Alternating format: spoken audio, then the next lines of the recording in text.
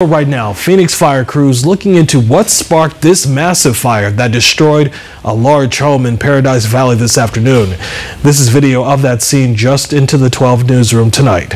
Fire crews from both Phoenix and Scottsdale responding to the scene near 36th Street in Camelback. Smoke from that scene could be seen all across the valley this afternoon. The amount of fire uh, pushed us out of this home. Uh, the entire attic from end to end had a working fire, and we just can't put firefighters underneath that amount of fire with a Spanish tile roof that we can't get to that fire. So we made the decision to go ahead and uh, transition to a defensive fire once we knew that everybody was out.